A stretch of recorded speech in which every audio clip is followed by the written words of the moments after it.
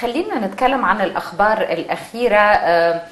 تم توقيع عقد قرض تمويل لتوسيع معمل ميدور. نحب نعرف من حضرتك تفاصيل أكثر عن هذا التمويل ويعني دور المصري فيه هيكون إيه. شوفي حضرتك إحنا طبعا من يعني إحنا يمكن اتكلمنا في حديثنا على إنتاجنا من الغاز والاكتشافات الجديدة وفاتوره الاستيراد وغيره. جزء تاني تاني مهم قوي هو إن إحنا إزاي بنسد الفجوة بتاعتنا من ما بين الإنتاج والاستهلاك وما بين ما يتم استيراده. فجزء كبير وجدناه إن إحنا معامل التكرير بتاعتنا الحالية بخلاف ميدور يعني معامل منظومة التكرير في مصر منظومة قديمة ومحتاجة إنها تتطور ويتم تحديثها وتوسيعها أو إقامة معامل جديدة. وده ليه؟ علشان خاطر المنتجات بتاعتنا المكررة.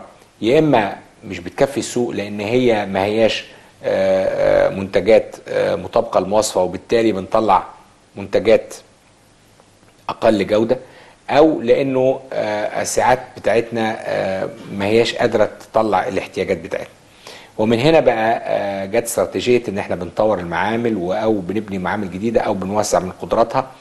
ولما بنيجي نتكلم على أهم معامل عندنا هو معمل ميدور وده أحدث معمل عندنا أو مصنع أو معمل تكرير للبترول في على البحر الأبيض المتوسط بالنسبة لنا في مصر كمان فكان القرار إن إحنا هنقدر نوسع له ونزود القيمة القدرة التكريرية بتاعته ب 60% فالنهاردة هو بينتج حوالي 4.5 مليون طن في السنة أو بيكرر ما ما ما مقداره 4.5 مليون طن سنويا من المنتجات البترولية.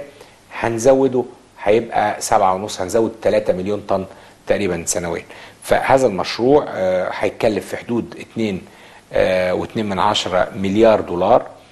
والحقيقة إنه هذا المشروع هيتكلف هذا المبلغ ما بيبقاش كله من أصحاب رأس المال اللي هو في هذه الحالة قطاع البترول. لا ممكن ناخد قرض للتسهيل. وطبعا معنى ان إحنا ناخد قرض يبقى في دراسات جدوى اقتصادية بيتم تدقيقها ومراجعتها من مكاتب عالمية علشان خاطر المقرضين يقدروا يدونا هذه المبالغ.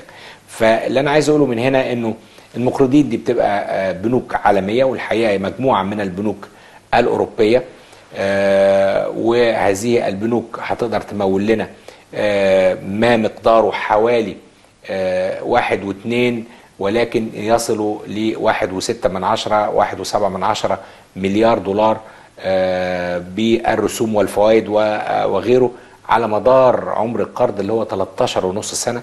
وده طبعا يعتبر يعني استثمار, استثمار طويل الأمد طويل الأمد. وبالتالي آه كمان آه يبقى يدي فرصة للسداد لأنه آه سداد هذا القرض. وده زي ما بقول لحضرتك بيتعمل بعد دراسات جدوى يتم تدقيقها. ومبلغ كبير زي ده آه ما بيتحطش في مشروع واحد في بلد واحدة إلا إذا كانت هذه البنوك والجهات الضامنة لهذا القرض تكون مطمئنة تماما من جدوى المشروع ومن الإصلاحات والدعم اللي بتاخده هذه المشروعات من الدولة.